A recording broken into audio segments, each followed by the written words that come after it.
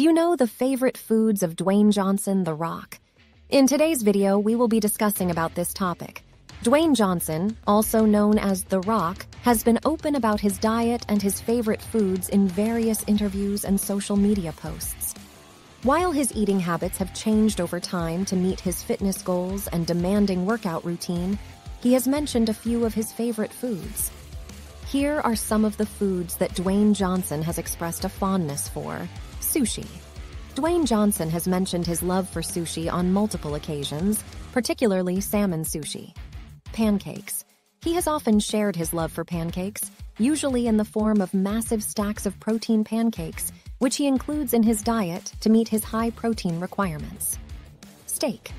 As a former professional wrestler and a fitness enthusiast, Dwayne Johnson frequently includes steak in his diet to provide a good source of protein. Chicken.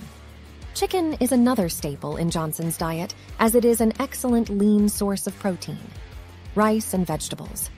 He often includes a combination of rice and vegetables in his meals to provide energy and essential nutrients.